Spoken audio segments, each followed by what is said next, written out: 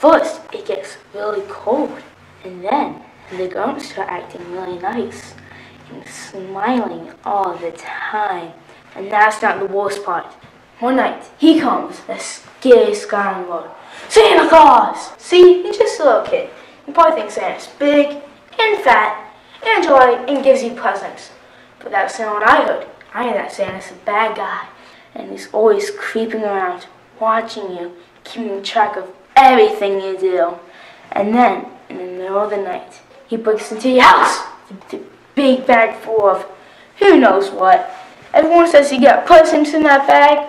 And maybe is that what he just wants you to think?